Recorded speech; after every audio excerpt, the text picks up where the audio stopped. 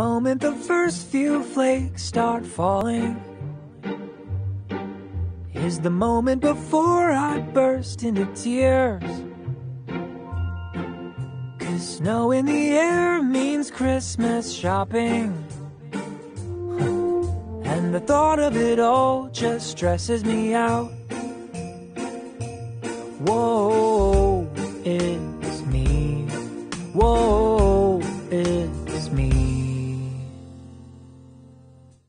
Would she kinda like this canary yellow?